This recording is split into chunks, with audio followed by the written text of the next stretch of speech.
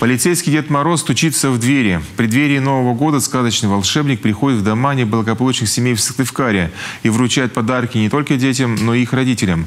Кто-то уже встал на путь исправления, кому-то нужно еще над собой поработать. Однако никто не останется без внимания.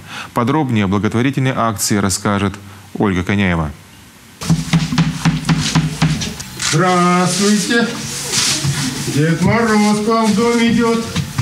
Накануне Нового года полицейский Дед Мороз посещает неблагополучные семьи с детьми. Вместо Снегурочки инспектор по делам несовершеннолетних. В красном мешке сладкие подарки, мягкие игрушки и раскраски. Все это покупалось на деньги, собранные сотрудниками Сыктывкарской полиции. Подопечные стражи порядка живут небогато, поэтому презент приготовили и для взрослых. Пакет с продуктами к новогоднему столу.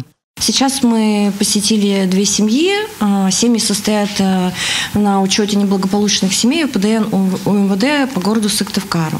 А основная причина постановки на учет этих семей было злоупотребление а, алкоголем родителей. Мать этих ребятишек в прошлом частенько любила приложиться к бутылке, поэтому ее дочь, двое сыновей нередко оставались одни, без присмотра. Женщина уже долгое время не пьет и нашла постоянную работу. Положительные изменения в ее жизни начались с появлением мужчины. Пока все окончательно не наладилось, инспекторы ПДН продолжат опекать эту семью. Будут они приходить и по другому проблемному адресу. Мама с дочкой, трудным подростком тоже стараются показать себя с лучшей стороны. Но пока еще не все гладко. Старшая 16-летняя дочь этой женщины перестала ходить в школу. Сейчас эта проблема на особом контроле полицейских.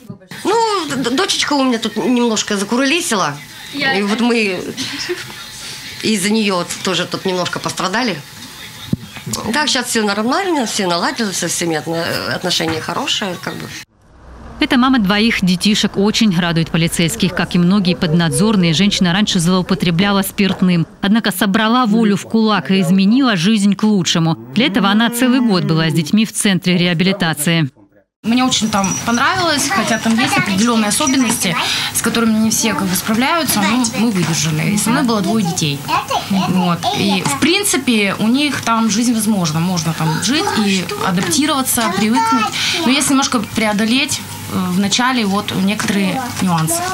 Ну, так вот, мне, например, так.